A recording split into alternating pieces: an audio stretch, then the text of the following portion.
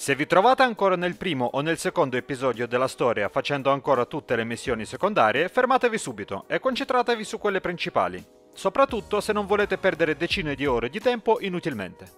Ciao a tutti, io sono Sasha e basta, e in questo video vi spiegherò perché arrivare al terzo episodio è così importante. Ovviamente senza spoilerare la storia. Mettete mi piace per aiutare gli altri a trovarlo e andiamo!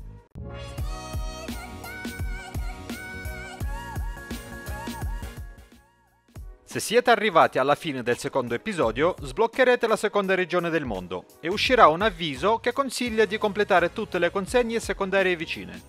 A questo punto, alcuni di voi per paura di non poter più tornare, lasceranno tutto e andranno a fare le consegne secondarie. Non fatelo! Anzi, se non siete ancora arrivati a questo punto, vi consiglio di farlo prima possibile. Perché? Semplicemente perché nelle prime missioni del terzo episodio sbloccherete alcuni oggetti che vi permetteranno di fare le consegne molto più velocemente. Per esempio, una consegna che prima richiedeva 30 minuti, ora potrà essere completata in 10. E non vi preoccupate, perché potrete sempre andare avanti e indietro tra le regioni liberamente. Non vi dirò quali sono gli oggetti che sbloccherete all'inizio del terzo episodio per non rovinarvi la sorpresa, ma se siete particolarmente curiosi troverete un mio commento con l'elenco. Fatemi sapere se questo video vi è stato utile e vi ha fatto risparmiare un sacco di tempo nei commenti o magari con un mi piace.